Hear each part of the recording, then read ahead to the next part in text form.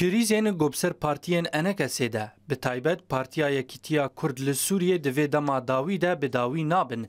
Lê belê rojane krîzek an jî xemgîniyek bi ser wan de tê û ya dawî piştî dûrxistina sekirtêrê wê Ibrahîm Biro bo Başûrê Kurdistanê ew bû koçkirina dawî ya serokê berê yê NKS'ê û sekirtêrê berê yê partiyê Îsmaîl Hemê. Îsmaîl Hemê doh derengiya şevê rastî krîzeke dil hat û bo nexweşxaneya niştimanî li bajarê Qamişlo hate veguhestin. Lê piştî çend demjimêran Hemê jiyana xwe ji dest da û çû ber dilovaniya Xwedê.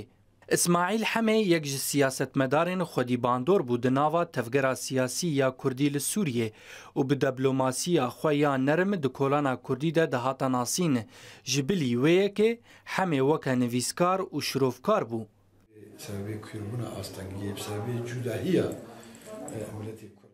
Hemê di sala hezar û neh sed û şêst û çar an de li gundê Tildîkê yê girêdayî bajarê Dirbêsiyê ji dayik bû û derçoyê amojxaneya Helebê beşê zimanê Îngilîzî bû û ji ber astengiyê ew zanîngeha xwe berdewam nekir û ji sala hezar û neh sed û heftê û neh an ve tevî nava karê siyasî bû.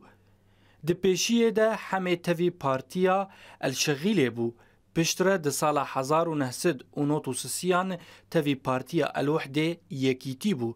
Piştre Hemê li gel hin hevalên xwe di sala du hezar û yekê de Partiya Yekîtiya Kurd li Sûriyê ava kirin. û ji sala du hezar û dehan ve ta du hezar û sêzdan weke sekirtêrê partiyê hate hilbijartin, herwiha di sala du hezar û duwazdan de weke serokê Encûmena Niştimaniya Kurd li Sûriyê hatibû hilbijartin di destpêka avakirina wê encûmenê de.